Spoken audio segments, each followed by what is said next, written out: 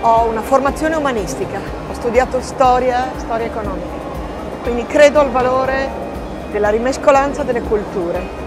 Credo che sempre più andremo verso una formazione di un tipo con un'integrazione di competenze e credo alle squadre miste tra uomini e donne, tra formazione tecnologica o economica e formazione umanistica. Però non dobbiamo essere portatori, come dire, di un'unica verità.